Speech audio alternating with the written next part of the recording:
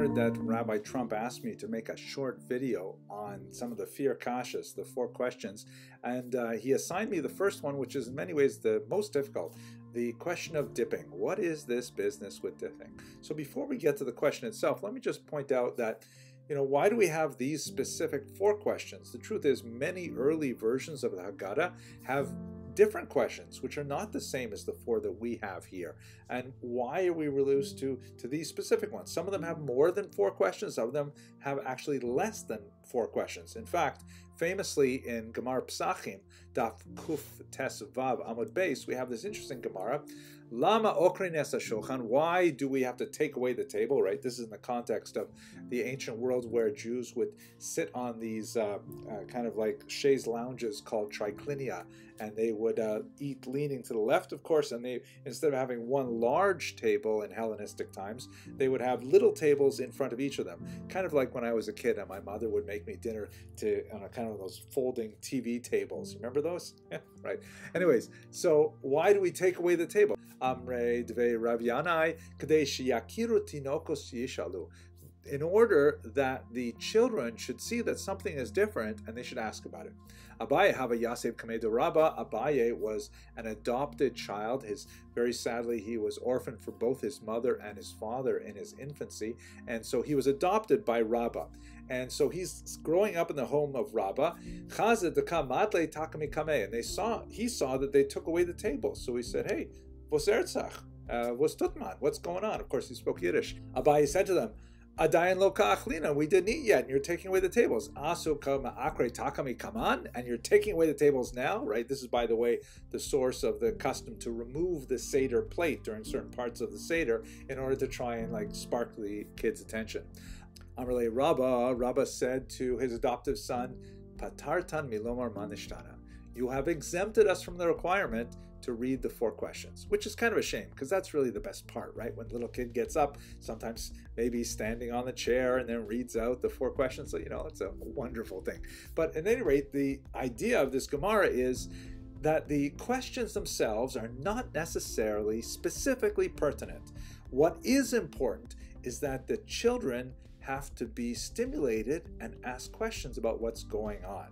In fact, uh, if you uh, look carefully at the Haggadah, you'll see that these fairly arcane questions are not even really answered. Like, do you remember anywhere in where the Haggadah where it says why we dip twice tonight? Why do we dip once anytime? We can actually reduce all the four questions to one word, which is basically why. Why are we doing this? That's the whole point, according to the Gemara, of what the four questions are all about. So let's provide those answers very quickly, and then I want to take us in a slightly different direction. Uh, the technical reason for the first dipping, which is the karpas in the salt water, is that we're supposed to emulate the Kohanim the priests of the period of the temple, where they would have to wash before eating vegetables that were wet for reasons of spiritual defilement, of tuma and tahara. We're supposed to treat ourselves like we are all kohanim in that regard. The symbolism is, I think, more powerful. The idea that uh, the, the salt water represents the tears of the Jews who were enslaved in Egypt. Okay. The second dipping is the maror in the charosis, right? The bitter herbs in that mixture of cinnamon and stuff like that. Um, and there's actually three dippings. The Haggadah doesn't mention but we do it also a third time with Korech. The reason for that is because the Gemara says that the uh, the maror eaten on its own is potentially toxic, and you have to cut that toxicity by mixing it slightly with charosis. Some people like to pour on tons of charosis there. You can ask Rabbi Trump if that is appropriate or not, but at any rate, that's the technical reason. The symbolic reason is the mortar, that it represents the kind of cement mixture that the Jews had to use when they were building the uh, various temples and structures in the area of Goshen.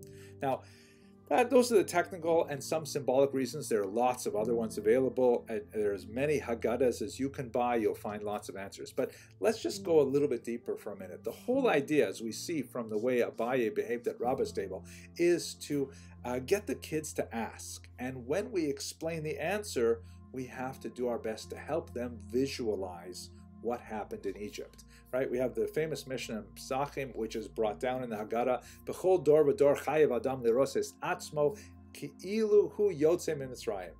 Every generation, a Jew has to regard him or herself as if he or she herself had exited Egypt. Shneimar v'higarat levincha b'yamahu le'mor ba'avur asa Hashem li v'tzeitzi mitzrayim. As the, the verse in Exodus 13 says, you shall teach your children on that day. The word for teaching there is higarata. Uh, because of this, God did for me and took me out of Egypt. So there's an important element here of using the questions as a lever to provoke this visualization. We don't have to go very far for this since we live in the post Holocaust world where we remember the kind of evil things that were done to the Jews in the last two generations before us. And so it's it's still very very fresh for us. But you know, God willing these these memories will not be as immediate for future generations and they will have to imagine them. So, how exactly do you do that? So, I am so fascinated with this, of course, because I study history. And when you look back in the period of Exodus, there are a few really tantalizing bits of archaeological evidence that are so amazing. Like, for example, this papyrus document, which is actually a description of how bricks are to be made. Uh, we know that the region that the uh, the Jews were most active in was in the region of Goshen, of course which is located in the eastern part of the Nile Delta around Tanis and Avaris. These are the places where Pitom and Ramses, as described in the Tanakh, were built. And we also have depictions of bricklayers and brickworkers. These slaves were painted on the tomb of Rechmire around the 14th century before the Common Era. Absolutely fascinating. Just give you an imagination of what it must have been like to work in this kind of environment.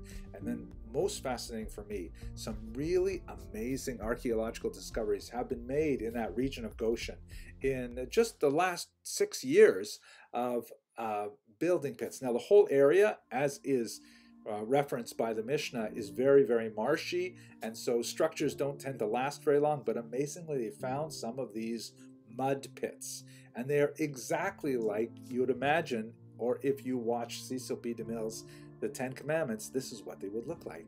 Have a look at this image, which shows the frozen footprints of a young child in the mud pits. We don't know who made these footprints, which child made these footprints, whether it was an Egyptian child, a Hebrew slave, someone much later in time.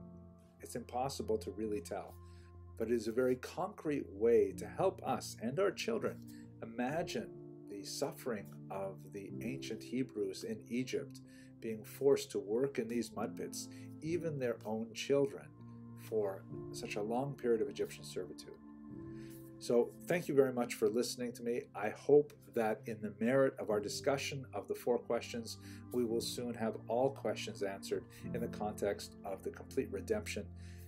Thank you very much and have a Chag Kasher V'Sameach.